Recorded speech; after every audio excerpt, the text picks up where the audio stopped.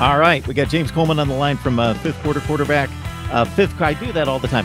Fifth quarter college football. James Coleman uh, joining us to talk uh, college football and Florida State in particular. Uh, today, day three of the Noles on the practice field for spring practice with a scrimmage scheduled on Saturday. So again, James, I lean on you for a different perspective. Going into your first scrimmage, what is important to the coaches to see, and for guys that are vying for positions, what do they need to prove? Um, well, one, everybody on the offense has a clean slate for the most part because you've got a brand new offensive coordinator.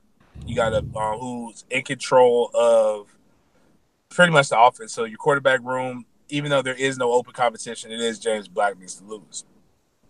Partially because there really is nobody else. I mean, we people people say we only have one quarterback. Again, that's not 100 percent true at all. Jordan Travis is probably going is more than likely, from what I understand, is going to get his waiver. He gets to practice in the spring no matter what.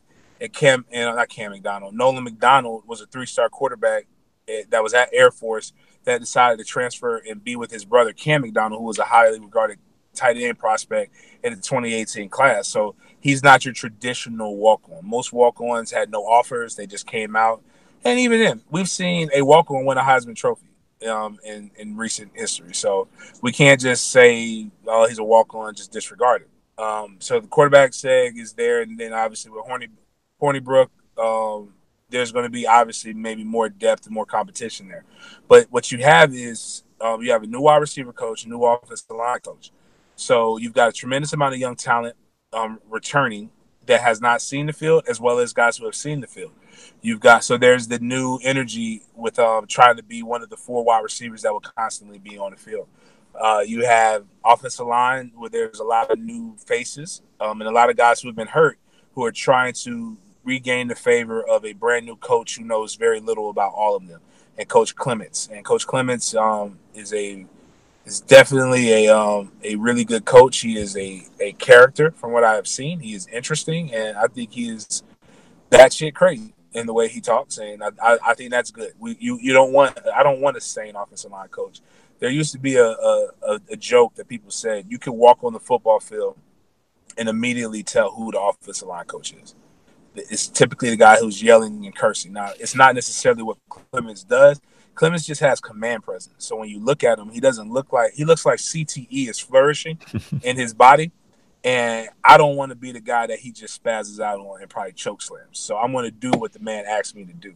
But I like that. Um, defensively, we've got some moving around pieces. You got Odell Haggins is coaching the entire D line. And so if you want to be, if you want to play, you got to stand out.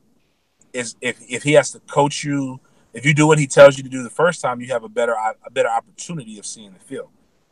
Linebacker, tons of new energy, almost a completely new seg. And then the DBs, where we've done very good recruiting the last four years. Lots of talent there, lots of guys who are out here competing, and um and, and, and you need to see the energy change.